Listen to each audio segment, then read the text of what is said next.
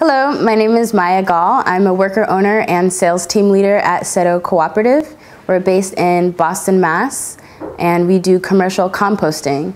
CERO stands for Cooperative Energy Recycling and Organics, or Cooperativa para Energía, Reciclaje y Orgánicos. Um, we were founded in 2012 and we began operations in 2014. So we pick up uh, food waste from commercial businesses, uh, universities, hospitals, grocery stores, um, and instead of putting it into the landfill, we use it to bring to farms where it's processed naturally and produce um, compost soil mixes that we bring back to local agricultural projects where you know new food is grown uh, for the local food um, market.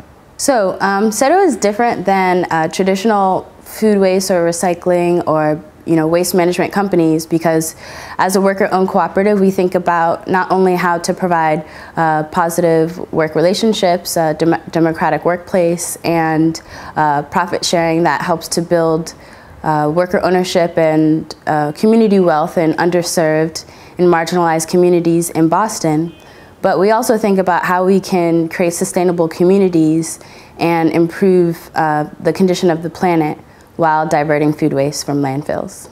So we've tried, we're on the verge of succeeding, and we are going to participate in creating a greener, more equitable world.